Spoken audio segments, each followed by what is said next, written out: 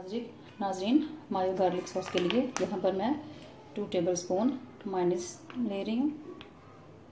दो से तीन खाने के चम्मच।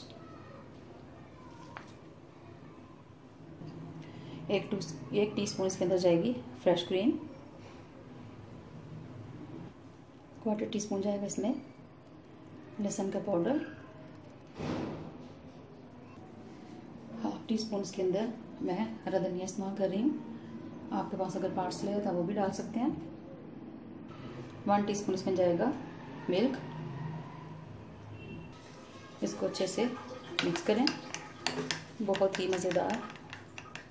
जी, नाजिन रेडी है। मज़ेदार सी मायो गार्लिक सॉस इसको आप कटर्स के साथ चिप्स के साथ फ्रेंच फ्राइज के साथ इस्तेमाल कर सकते हैं। जी, नाजिन आपके फीडबैक का इंतज़ार रहेगा।